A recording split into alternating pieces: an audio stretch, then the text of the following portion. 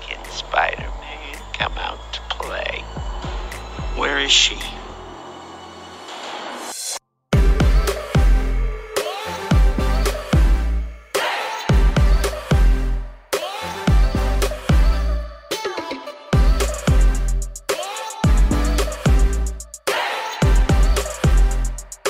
Guys, what's up? Welcome to my channel. I'm Frank and it's finally here. Today I'm gonna show you how to make a Green Goblin helmet.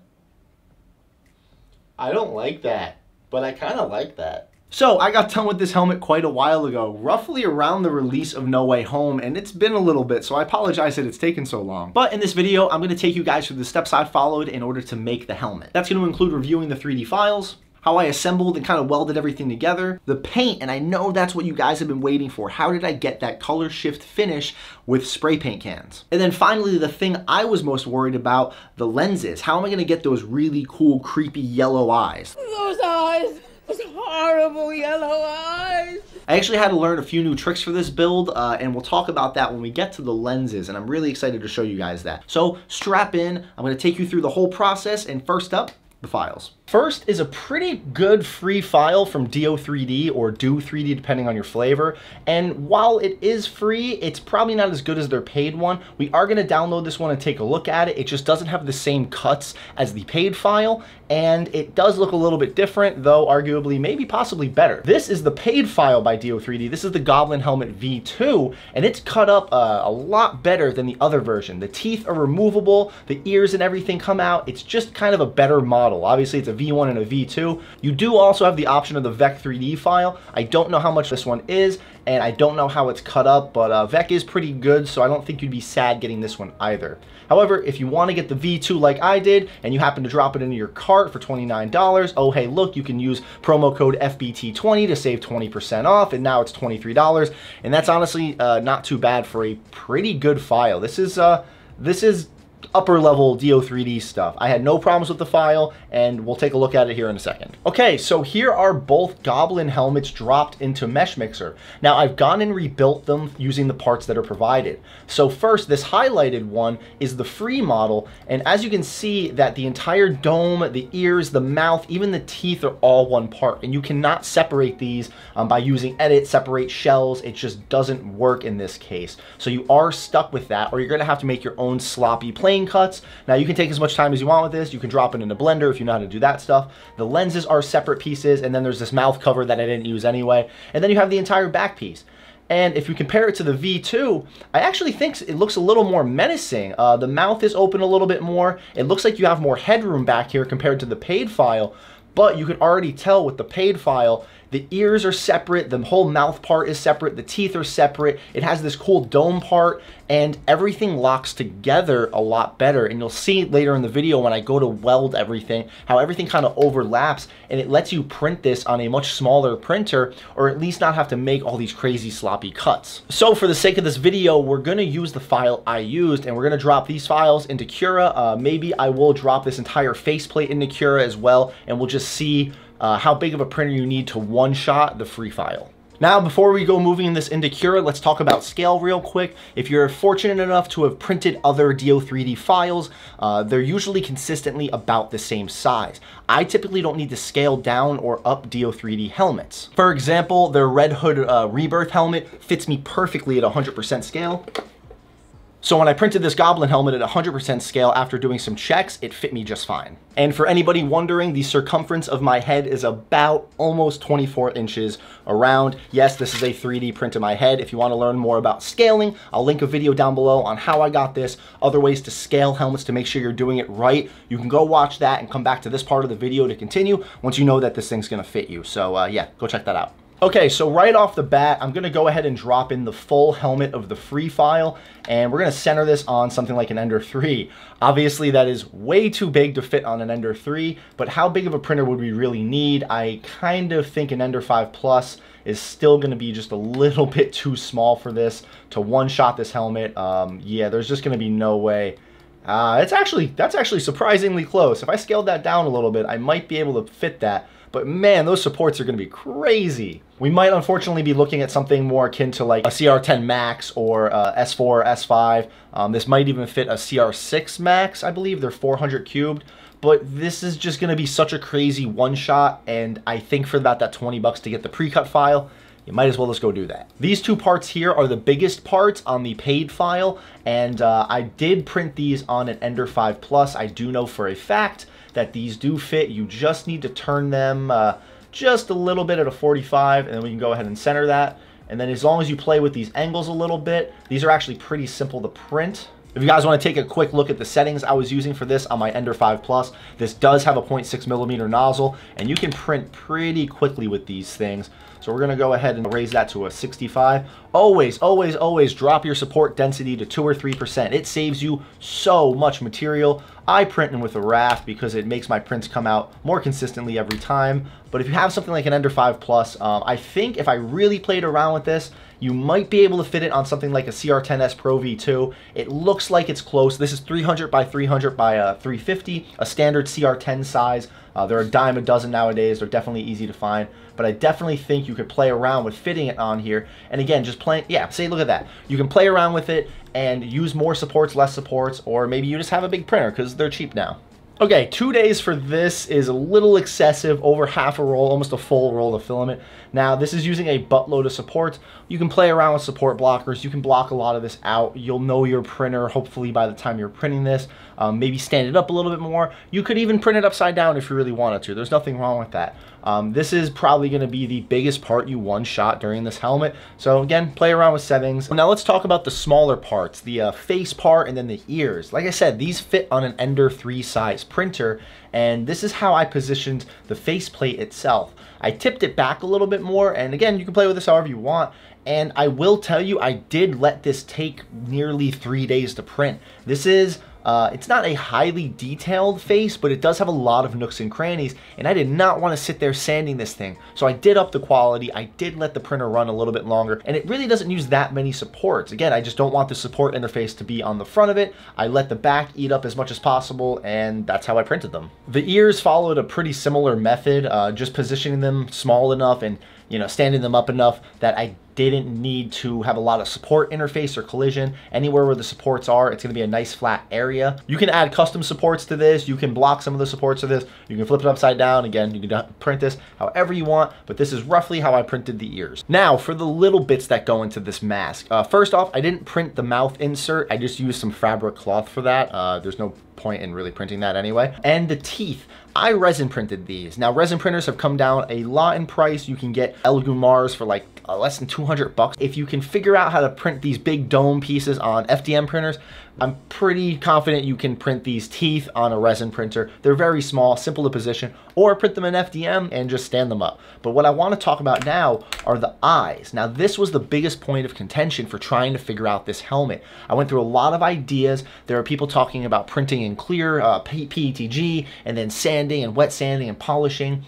I went a different route.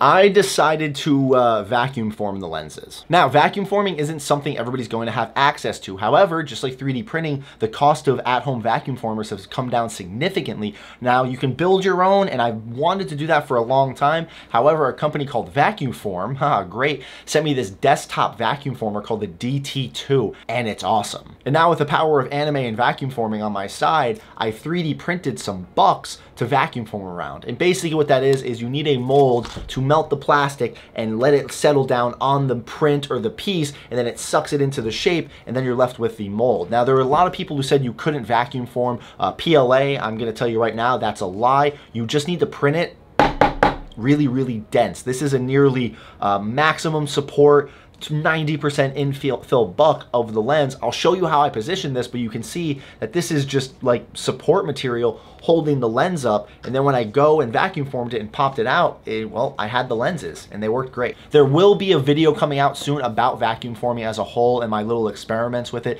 This was not as easy as I thought it was gonna be, especially then trying to tint the lenses afterwards. So there was a lot to play around with here, but it did help me reach my end goal. Let me show you back in the program how I position them. Then I want to go into actually assembling the helmet. All right, and this is how I made the buck for the lens. You can see that there's no weird overhang angles. The plastic is basically just wrapping around a pyramid shape the entire time. And this is one solid piece almost all the way through and it worked great. Now, I will say you do have some other options besides vacuum forming. And honestly, you don't really need this crazy shape. If you go and follow my helmet visor tutorial, you really should be able to warp the plastic and bend it just enough to fit into the mask itself without having to worry about having that perfect uniform shape. Is it gonna protrude and be like as accurate as you might want? Maybe not, but you know, spending a $1,000 on a vacuum former just for some small lenses might not be everybody's cup of tea. So there definitely are other ways to do this and still maintain a very good look, but this is the path I went, and I know it's a little bougie,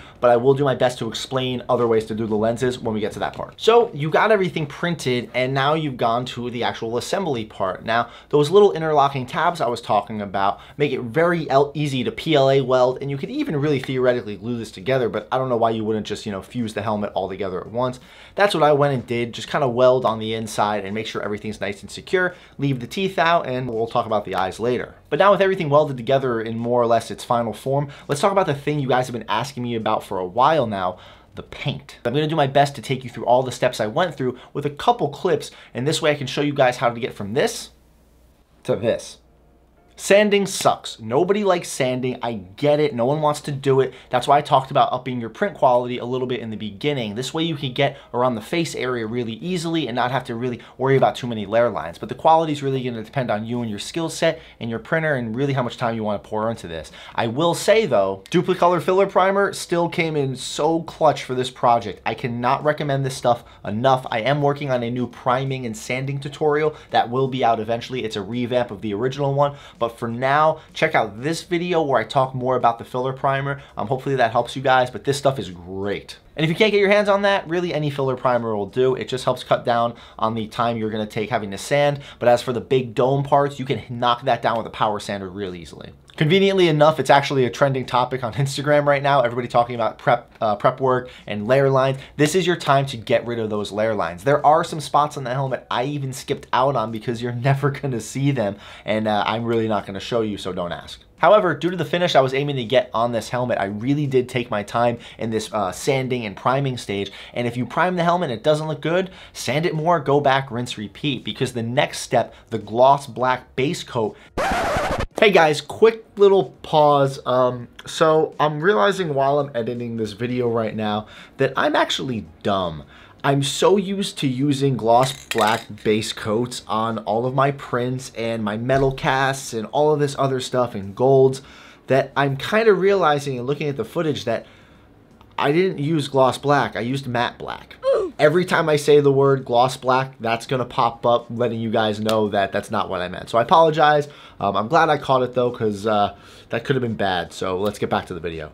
That, that is where it's gonna show all your flaws. For that, I was just using some really generic Krylon Gloss Black. Uh, Rust-Oleum makes some good stuff. Duplicolor makes some good stuff. Really, it just needs to be a good gloss black spray paint. So now let's talk about the green. Now, this was a big choice I had to make. If you look at the original Sam Raimi Spider-Man Green Goblin helmet, that's a real practical suit. And it's more of a matte green while it does have that nice color shift purple green tint. And that's really what I wanted. However, I wasn't a big fan of the matte look. But now if you look at the Spider-Man No Way Home Green Goblin, it's all CGI and it's really just, you know, bright emerald green. Now I did see somebody use just a generic metal cast green on their Green Goblin helmet and it looked great, but I really wanted that color shift pattern. I was able to find this galactic custom wrap color shift and hopefully you guys can kind of see it in the camera. The edges right here is green but straight on it's purple and I, I really had high hopes for this and I think if I had gone for a matte finish this would have looked great and probably gotten me there. But I decided to do a little bit of both worlds. I wanted a nice gloss finish on this helmet to mimic the new you know No Way Home kind of goblin but then I also really wanted that color shift. And that's when I found Testors Color Shift. These are the paints I used on my Goblin helmet, and my lord, they are great. Now, these cans are very small and kind of expensive, but they're not meant to do a lot of coverage. Like, you're not supposed to douse the prints and, you know, the parts in this stuff. It's more of a tint coat, not too dissimilar than metal cast. This says to use it over a gloss black base coat, so that's exactly what I did, and it was really crazy to see this stuff take effect as you're spraying it. It's a little tricky to see in this video, but I start off with that gloss black base coat and I do a couple dust coats of this. And as I start to build it up and get that first wet coat, you can see everything just starts to turn green emerald. It's actually one of the craziest paints I've ever used. There was literally no step in between the gloss black and this, and these are the results I was getting. Now, in the end, this was honestly just a little bit too green uh, for my liking. I wanted to pull it back down, and I actually ended up going over it with this green copper, and it oddly worked very well. It, it, it was just something about the way everything looked. I did very light dust coats of this green copper over the turquoise and it actually helped pull the purple out a little bit more. Maybe there's some science to it. Don't really know why it worked out that way, but that's how I got that nice color shift. And honestly, I think the results speak for themselves. You can kind of see at the top of the helmet here, it does have that nice purple fade and it's definitely a green goblin helmet that I'm pretty proud of. From there, it was just a matter of going over it until it was to my liking and then dousing it with some clear coat. And like literally all the rest of my prints at this point, Duplicolor 1K clear coat. I it's, it's great stuff and it covers like everything. I will link literally everything I just talked about down below in an Amazon shopping cart. You don't need to buy it from Amazon, but this way you know what to look for and you can go pick it up at an AutoZone or Hobby Lobby, or wherever you want to go. Okay, so if you've made it this far in the video, it's either because you also like making stuff or for some odd reason you just like listening to me talk. Either way, awesome. Though 3D printer technology has gotten a lot smaller and compact, not everybody has the room for these things. Or just having the time in general to learn how to 3D print, which I totally understand. But today's sponsor, Xometry, offers an awesome service to combat that. Say you have this really awesome design you need 3D printed or manufactured, you can upload the file to Xometry and have it printed and sent right to your door. It doesn't just stop at 3D printing. They have injection molding, urethane casting, die casting, CNC machining, and so many more options. One of the main purposes of Xometry is to help you get your hands on little prototypes for your manufacturing process without having to order thousands of units just to make sure that one of them looks good. Whether you're looking into some big engineering project or maybe even some small personal project, you can start your manufacturing journey with Xometry. You can hop online and get a free quote instantly within seconds. So if you guys are interested in the service, go to xometry.com slash frank or check the link down below. Thank you again, Xometry, for sponsoring this video, and let's get back to the build. Man. Now, as I was saying before, uh, I didn't print the mouth cover. This is actually just a piece of fabric, the neck gaiters that everybody has now because, you know, the pandemic kind of happened. I just cut it out and hot glued it in there. This way, when I'm wearing it, you guys, I'm pretty sure can hear me exactly the same. There's nothing covering this. It just, it lets me talk normal and breathe normal too, which is great. And the teeth were just resin printed, sprayed with some uh, silver spray paint and thrown in there. I thought about making them like a creepy, gross yellow, but I do like the silver teeth. It's a little more accurate. So as for the inside of the helmet and getting this thing to fit, I did play around with some foam. This way it sits comfortably on my face. There is a little bit of foam at the top with a little bit of an arch around it. So it wraps kind of around the top of my head and just sits there like a hanger. And even if I don't have the back of the mask on, you guys still kind of can't tell and it looks pretty good in camera. As for the back of the helmet and actually attaching it, it's actually pretty simple. You can over-engineer this as much as you want. I think I did this pretty uh, pretty simple way. I just have some simple purse clasp magnets that I've used in other videos, and at the very top up here, just a little bit of Velcro. Um, putting the helmet on is a little tricky. I don't usually put the back part on because it cuts into my ears right here, and that's why I have some felt. So getting it all on, not the easiest.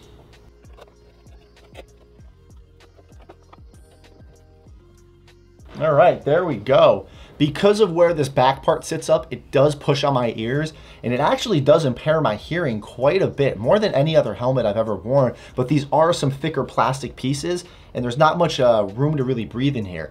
If I had a solid cover on this, I probably wouldn't be able to breathe at all because this is very tight around my neck and like the back of my head.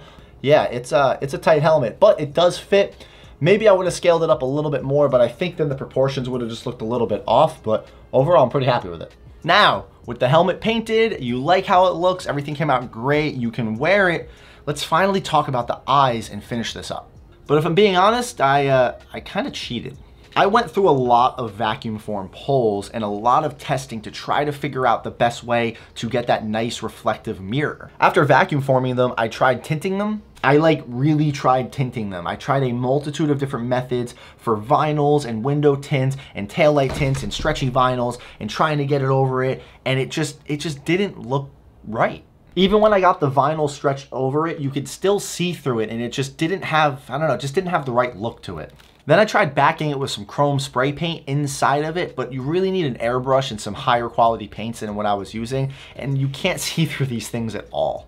So I eventually landed on a, uh, similar idea that I had to my Nova helmet to give it this nice reflective deep red star that actually has some depth to it. I backed it with chrome tint. Now what I mean by that is I was able to eventually get a nice vinyl pull over the vacuum form lenses and they looked great, but again, they were too see-through. They were the proper yellow, but they just, they didn't look right. So if you notice behind them, I have another piece of plastic sitting almost like a secondary lens. This is just a sheet of clear plastic and some chrome window tint. By layering these on top of each other and positioning them behind the lens with, you know, there's about a half an inch distance between the front of the lens and that back chrome plate, it gives a little bit of sense of depth. So depending on how you're looking at the lens, you're getting these really nice reflections off of it that hide my eyes behind them because now there's two layers of tint, but then reflect all of the light outwards. And I love how it came out.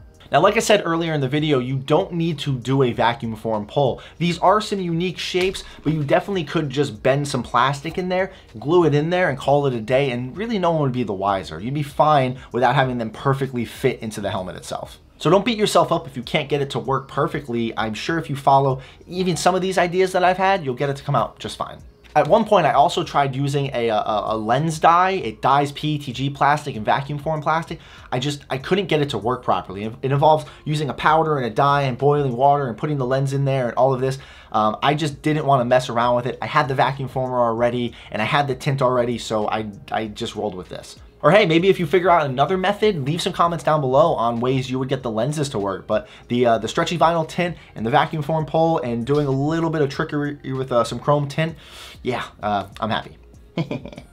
So guys, that's pretty much gonna wrap up this video. I know it was a little bit of a long one. Um, there was just a lot of different techniques and methods I used in this video. I've never done a color shift paint, and honestly, I don't have anywhere near as much footage as I should that involves the testing I had to go through to get this. I learned how to do vacuum forming and actually had something successfully work with my vacuum forming poles, and I'm uh, really proud of it actually. Everything else involved in this helmet is stuff I've showed in other videos, so I didn't really want to go into great details with it. Um, I will link some more videos down below that I think will help you guys in this build, you know, printing, PLA welding, sanding, that type of stuff. And uh, hopefully through this video, I was able to show you something new about the color shift paint, about the vacuum forming, maybe new ways to wear helmets, um, getting it to look right. And uh, let me know in the comments down below, guys, do you like that I went with a glossy color shift or do you like the Raimi helmet more or should I gone have just gone with a solid emerald color? Um, but I, I'm proud of this little combo between the two. And yeah, I'd like to know your guys' opinions. If you haven't already subscribed to the channel, please consider doing so. I have a lot of projects in work right now. Not only am I almost done with Star Boost, I am making a dedicated tutorial on uh, the Walsh 3D Mark 39 motorized helmet. This thing is one of the best